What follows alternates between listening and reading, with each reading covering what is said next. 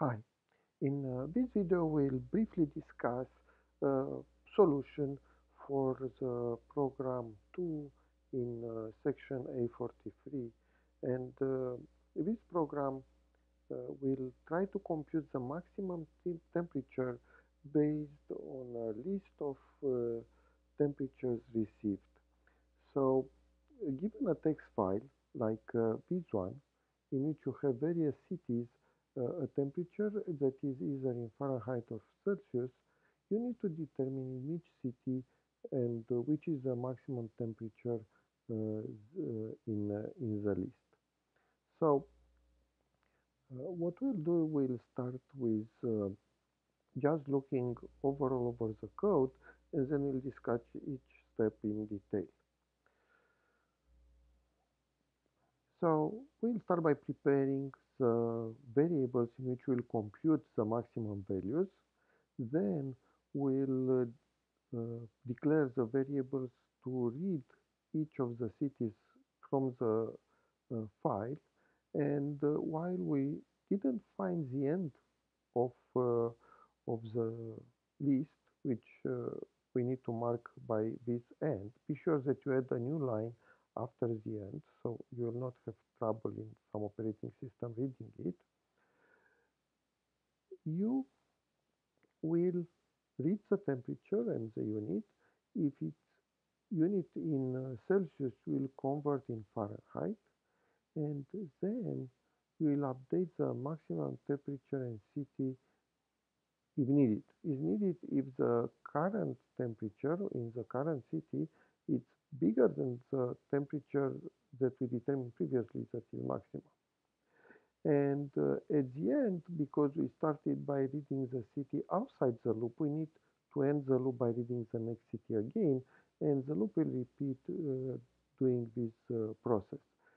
Uh, after we computed, after we went through all the list, now we have the maximum temperature computed and we'll print this temperature and the city in uh, the output. So this is a, these are the main steps of the program. Let's discuss now each of them one by one. So to prepare the variables for uh, uh, to keep the maximum, we need a variable for the city and we'll name this max city. So the city in which the uh, temperature is maximum. And also we need uh, another variable that will keep the temperature in that city and we'll name it max uh, uh, temperature. Now, initialize max temperature with minus 1000 just to be sure that any temperature we read is better than that. And we assume that the file has at least one city. Now, for each step, we'll need to, to read also to, to keep the city, the temperature, and the unit of each of, uh, of the values. So, like uh, first we'll have Fairfax uh, 35 and uh, Fahrenheit, we need to keep those values in some variables. And sure, the city is a string, the temperature is a double, and the unit is again a string. Uh, and uh, to read from the file, we'll read uh, from the system in, but we need to set that the system in is uh, uh, this file, this stems file. To, to do that, we'll just run once and um, then we'll need to go and here we'll run uh, we'll go to run configurations and uh, we'll need to to go in the environment in the common. And here we need to specify where is uh, uh our input file. So uh, let's pick the file system and uh, or let me see yes the file system is here. And we need to go you need to know where is your input file and search for it and um, uh, identify the okay the workspace and identify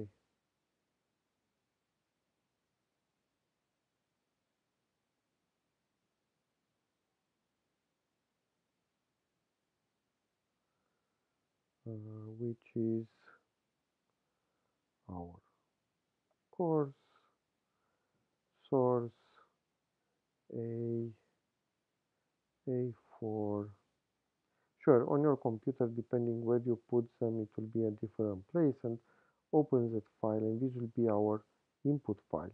And uh, now it will work, but um, uh, in order to be able to read with the scanner from the standard input, you need to do this setting in the run configuration. So again, you go in run configuration, common, and here as input file, you'll select from the file system your file. You can also go in workspace and then you select from your workspace. It will uh, just show you the packages and uh, sure, you can go much easier here to find where this file is and you can pick one from your workspace. It's the same thing. Uh, it will run, it will give you the same value. Uh, but in that case, you need to have this file in your workspace. Now, once we prepare the scanner, and this is a standard uh, scanner reading from the standard input, the only difference is that we modify the standard input to be this file that we define here. Uh, we can start reading, and as you can see, first thing that we'll have, it will be a city. Now, we read this outside the loop, and that's very important because we want to check that we are not at the end. And as we start the loop, we want to do this check, so I need to have this value before the loop. So I want to be sure that mm, I read the city before I check. So I read the city, and as long as the city is not the end, then I will read the remaining. So I know that I have the city now, I need to read the temperature and the unit of measure. So uh, we did the temperature passing a double from the scanner and we need the unit as a token as a string. But the unit can be Fahrenheit or Celsius and we assume in this example that the data is correct. We don't assume that the data is wrong. So uh, if the temperature is uh, uh Fahrenheit, we have nothing to do. But if the temperature is Celsius, we need to convert in Fahrenheit. And this is a, a, formula to convert Celsius in Fahrenheit. So what I know that here I will have, when I reach this point, I will have the temperature in Fahrenheit. And uh, uh, we already said the max temperature in Fahrenheit uh, that was found up to the current. So we know that right now both the temperature and max temperature are in Fahrenheit so we can compare them.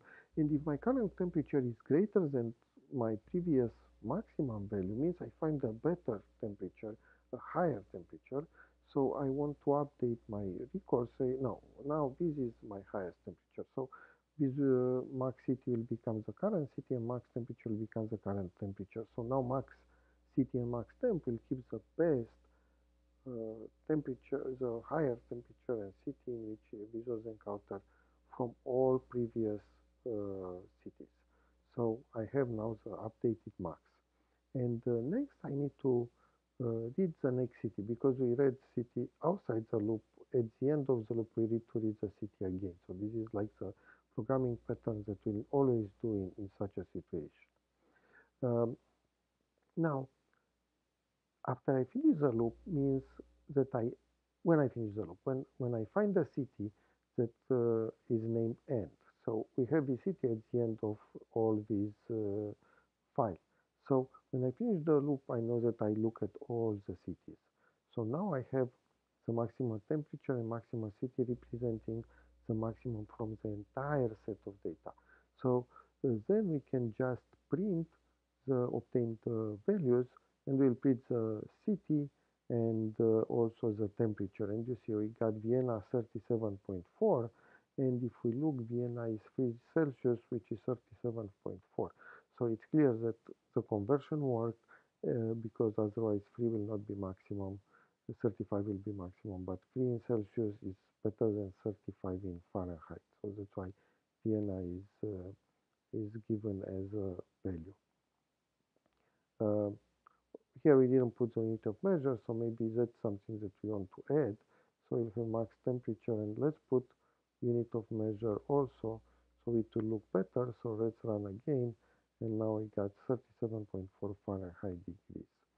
Uh, and then sure at the end we close the scanner just to be sure that the file doesn't remain in reading mode and uh, everything will uh, be uh, closed properly. This concludes the temperature program.